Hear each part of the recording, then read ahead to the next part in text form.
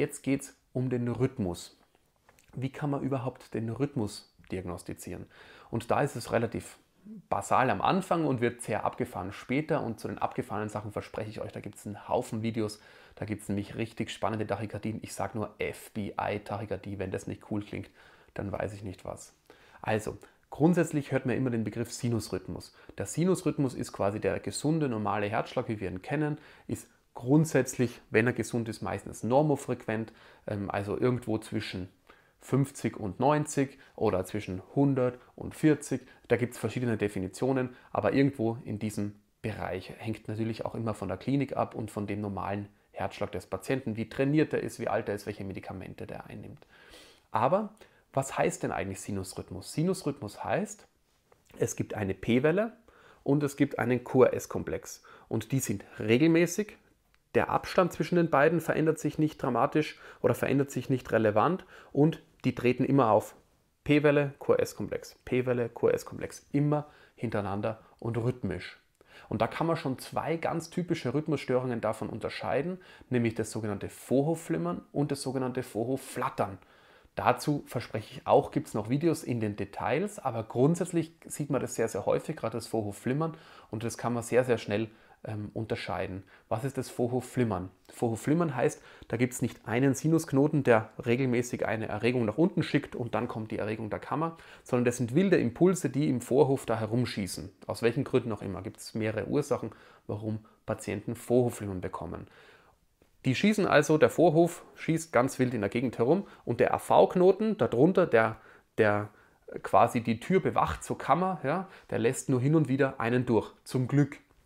Denn wenn er alle durchlässt, dann kann das sein, dass man eine 200er, 300er Frequenz haben könnte. Also eine schnelle und lebensbedrohliche Frequenz. Also der AV-Knoten lässt nur hin und wieder einen durch, aber nachdem er es nicht ganz rhythmisch bekommt, ist das alles total arrhythmisch. Also hin und wieder kommen wieder Schläge, die lässt er wieder durch, dann ähm, macht er kurz mal die Tür zu und so weiter und so fort. Ein Vorhofflimmern ist meistens normofrequent oder schnell, aber es gibt auch manche Fälle, besonders bei vorerkrankten Patienten, wo es eine langsame Herzfrequenz gibt, ein sogenanntes bradikades Vorhofflimmern. Wie sieht es dann am EKG aus? Entweder man sieht überhaupt keine P-Wellen, weil der Vorhof da so hinschießt und keine P-Welle äh, zu sehen ist. Und dann sieht man einfach QRS-Komplexe, meistens schmal, ähm, die äh, unregelmäßig da so auftreten. Da kann man einfach schauen, ist da wirklich irgendeine Periodik drinnen oder ist das völlig arrhythmisch. Manchmal sieht man auch, gerade in einzelnen Brustwandableitungen, ähm, so Zacken dahin springen. Und da ist es manchmal ein bisschen schwierig, Vorhofflimmern und Vorhofflattern zu unterscheiden. Das erkläre ich gleich nochmal. Aber wenn ihr einen total arrhythmischen äh, QRS-Schlag habt und dazu irgendwelche komischen Wellen, die vielleicht P-Wellen sind oder nicht, dann ist es höchstwahrscheinlich Vorhofflimmern. Und das Vorhofflattern, das ist zum Glück ein bisschen seltener, ist auch ein bisschen schwieriger zu behandeln. Das Vorhofflattern hat meistens eine regelmäßige Überleitung. Das hat quasi eine, nennen wir es mal, kreisende Erregung im Vorhof. Ja.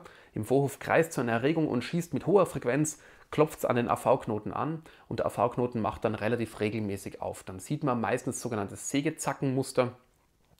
Ähm, als P-Wellen und zwar ganz, ganz viele in einer schönen Regelmäßigkeit und genauso regelmäßig QRS-Komplexe, aber nur meistens alle drei Sägezacken kommt ein QRS-Komplex. Das wäre das sogenannte Vorhof-Flattern. Wenn ihr euch jetzt denkt, super verwirrend, kein Problem, zum Thema Tachykardien kommt nochmal was genaueres.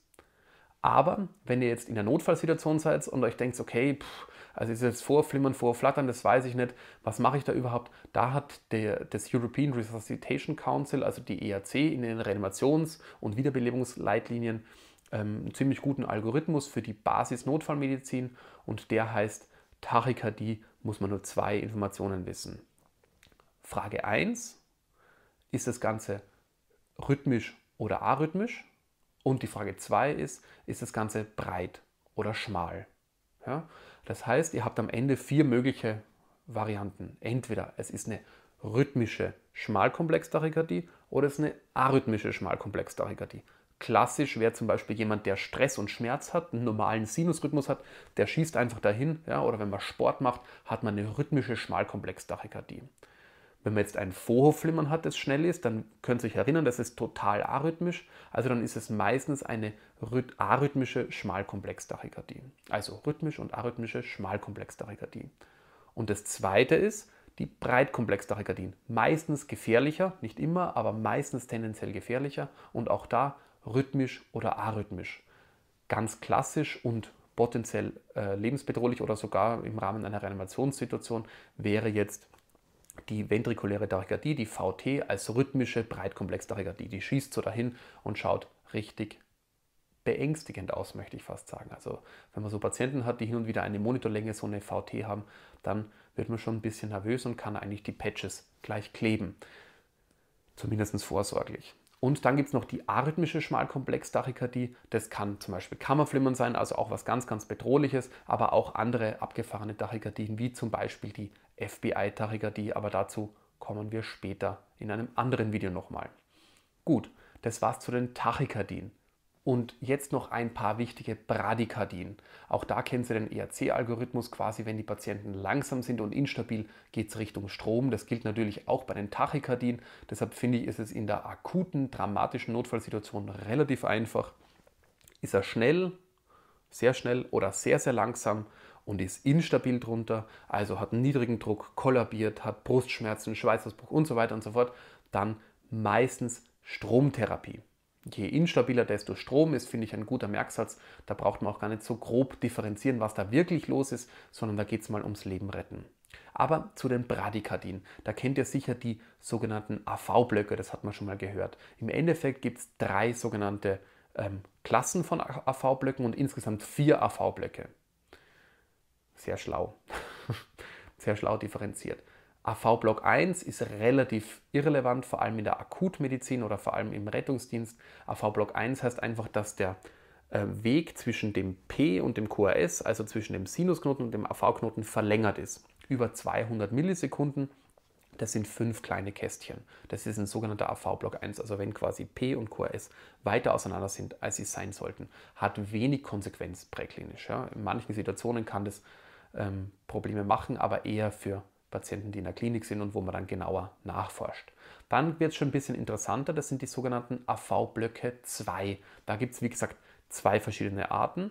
Und der eine ist, wenn der Abstand zwischen dem P und dem QRS immer größer wird und dann fällt mal einer aus. Also PQS, PQS, PQS, P kein QRS, PQS und so weiter und so fort. Das ist der sogenannte AV-Block 2, Typ 1 oder Mobitz 1. Und dann gibt es den zweiten AV-Block und der ist schon gefährlicher. Das sind Patienten, die potenziell schrittmacherpflichtig sind und die ein hohes Risiko haben, dass die in den sogenannten AV-Block 3, den totalen AV-Block, rutschen.